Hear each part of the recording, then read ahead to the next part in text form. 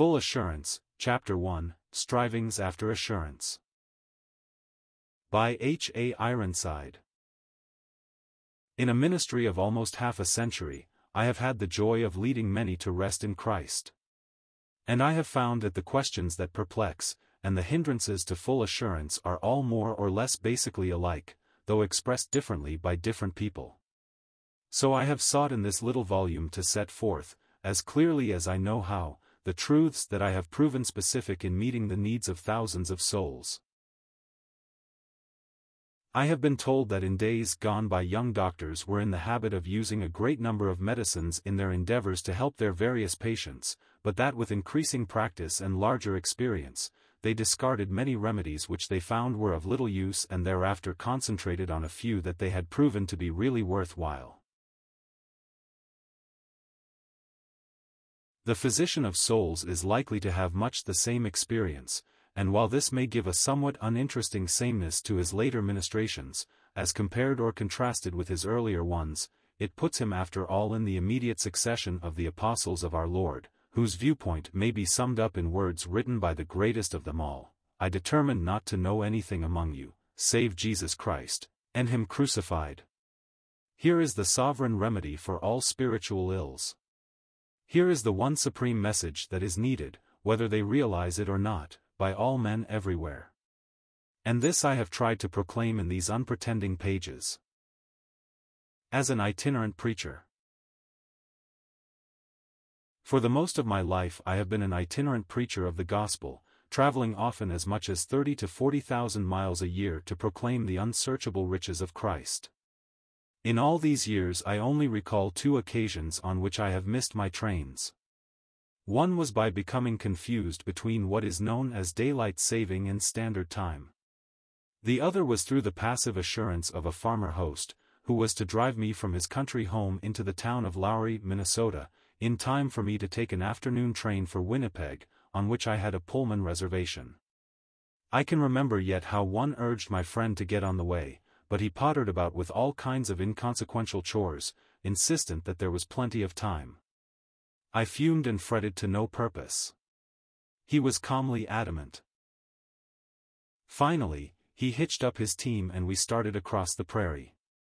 About a mile from town we saw the train steam into the station, pause a few moments, and depart for the north. There was nothing to do but wait some five or six hours for the night express, on which I had no reservation, and found when it arrived I could not get a berth, so was obliged to sit in a crowded day coach all the way to the Canadian border, after which there was more room. While annoyed, I comforted myself with the words, and we know that all things work together for good to them that love God, to them who are the called according to his purpose.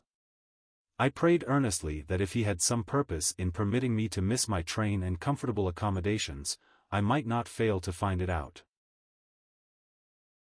When I boarded the crowded, foul-smelling coach, I found there was only one vacancy left and that was half of a seat midway down the car, a sleeping young man occupying the other half. As I sat down by him and stowed away my baggage, he awoke, straightened up, and gave me a rather sleepy greeting. Soon we were in an agreeable, low-toned conversation, while other passengers slept and snored all about us. A suitable opportunity presenting itself, I inquired, do you know the Lord Jesus Christ? He sat up as though shot. How strange that you should ask me that. I went to sleep thinking of him and wishing I did know him, but I do not understand, though I want to. Can you help me? Further conversation elicited the fact that he had been working in a town in southern Minnesota, where he had been persuaded to attend some revival meetings. Evidently, the preaching was in power and he became deeply concerned about his soul.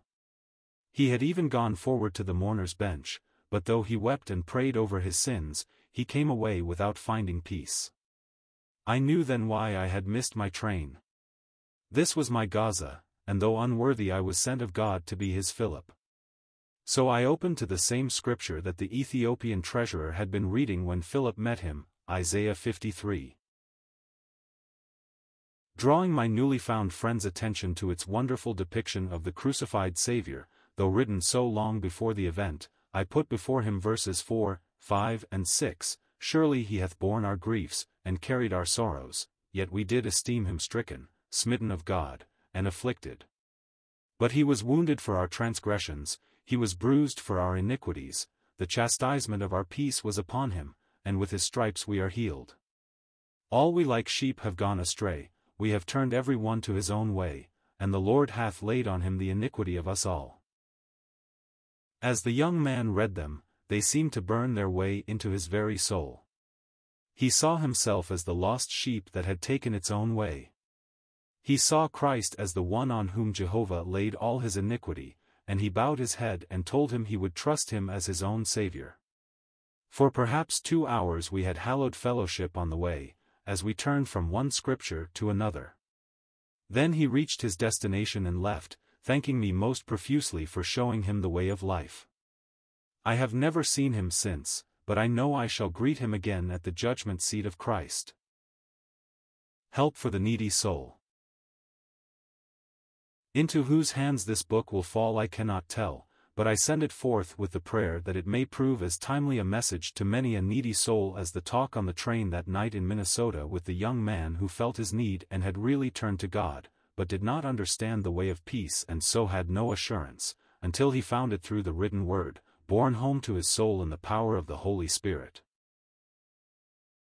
If you are just as troubled as that young man, and should by divine providence peruse this treatise at any time, I trust that you will see that it is the Lord's own way of seeking to draw you to himself, and that you will read it carefully, thoughtfully, and prayerfully, looking up each passage referred to in your own Bible, if you have one, and that thus you, too, may obtain full assurance. Be certain of this, God is deeply concerned about you. He longs to give you the knowledge of his salvation. It is no mere accident that these pages have come to your attention. He put it on my heart to write them. He would have you read them. They may prove to be his own message to your troubled soul. God's ways are varied. He worketh all things after the counsel of his own will. The barber was much concerned. Another personal experience will perhaps accentuate and fittingly close this chapter. One afternoon I was walking the busy streets of Indianapolis, looking for a barber shop. Entering the first one I saw, my attention being attracted by the red and white striped pole, I was soon seated in the chair, and the tonsorial artist began operations. He was chatty but subdued, I thought, not carelessly voluble. Praying for an opening, it soon seemed a fitting time to ask as in the other case, Are you acquainted with the Lord Jesus Christ? To my astonishment, the barber's reaction was remarkable. He stopped his work, burst into uncontrollable weeping, and when the first paroxysm had passed, exclaimed, How strange that you should ask me about him. In all my life I never had a man ask me that before.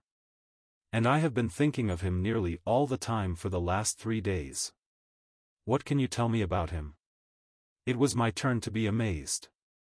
I asked him what had led up to this. He explained that he had gone to see a picture of the Passion Play, and that it had made an indelible impression on his mind. He kept asking. Why did that good man have to suffer so? Why did God let him die like that? He had never heard the gospel in his life, so I spent an hour with him opening up the story of the cross we prayed together and he declared that all was now plain, and he trusted the Savior for himself.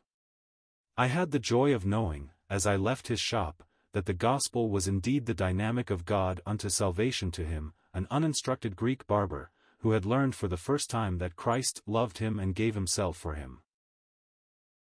To me it was a singular instance of divine sovereignty. The very idea of the Passion Play, sinful men endeavoring to portray the life, death and resurrection of Jesus, was abhorrent to me. But God, who delights not in the death of the sinner, but desires that all should turn to him and live, used that very picture to arouse this man and so make him ready to hear the gospel.